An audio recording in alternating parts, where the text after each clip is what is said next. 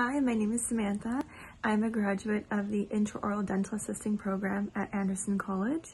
I love the program, love the instructors, love my classmates. Um, can't say enough good things about everything about it. Uh, prior to me getting into dental assisting, I worked in banking for about five and a half years. And before that, I was in the sports industry. And I didn't feel that my heart was in it. I knew that I wanted to make a difference and to help people, and unfortunately, those did not match up with what I wanted to accomplish.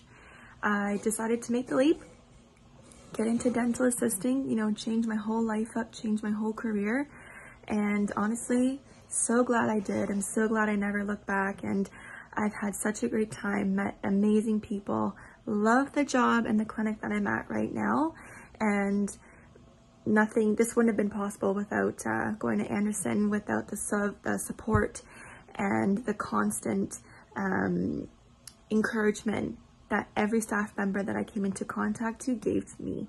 So if you're looking for a sign, this is it.